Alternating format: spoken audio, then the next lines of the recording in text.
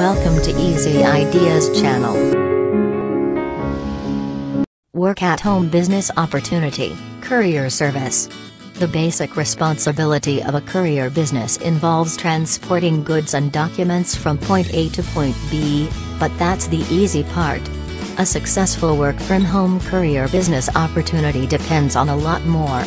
Many entering this business take baby steps at first, acting as subcontractors for established carriers before heading out on their own. Email and other digital means of transmitting documents kept this industry in a no-growth mode for a while, but a courier's ability to handle a variety of delivery jobs and the flexibility to work at odd hours can buck this trend and determine success. You'll have to deal with fluctuating gas prices, and it helps to work in a delivery-rich urban area with lots of commerce. Delivering hazardous and medical materials can increase profits, but this typically requires special licensing. Simple package conveyance is recommended at the start. What you'll need to begin a courier business opportunity. A well-defined delivery territory, particularly if you live in a large metropolitan area insurance for your vehicle and a valid driver's license, check with your Department of Motor Vehicles to find out if a commercial license is also required. A business license, check with your local Chamber of Commerce for requirements. A website, vehicle signage, business cards, flyers and ads in print and online outlets to promote your business. A courier service software package to help run the business side of your operation often available for free online. A GPS device to help locate your clients and chart the most efficient routes. A dedicated mobile phone number for all business operations, including calls and route, as well as a reliable handset and earpiece. Adequate auto insurance. Establish a competitive rate.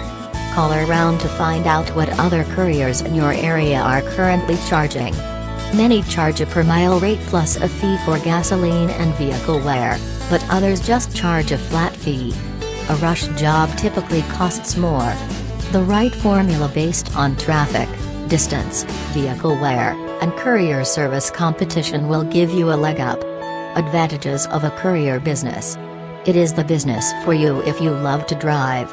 Your startup costs should be minimal if you already have a reliable vehicle but review your auto insurance policy to make sure you have adequate liability coverage and that it covers you in the course of doing business. Disadvantages of a courier business. Picking up and delivering at any time, not just during regular business hours, gives you an advantage over franchises that have set schedules, but it can disrupt your personal and family life. Unpredictable gas prices and traffic issues may affect your profits. Stop and go city driving can age a vehicle fast, and you might find you need to replace your wheels long before you anticipate it. A courier service business real life example. Former IBM salesman Rob Johnston co-founded Priority Express Courier in 1994 to service New Jersey and Pennsylvania. Priority went on to be listed on Incorporated magazine's list of fast-growing companies and in its Incorporated 500, according to an entry at the Messenger Courier Association of the Americas website. We really hope you find this article helpful and don't forget to share it with your friends and family. Thank you for watching.